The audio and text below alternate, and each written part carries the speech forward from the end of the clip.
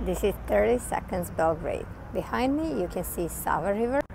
This is Branko Bridge and then across is shopping center called Ušće.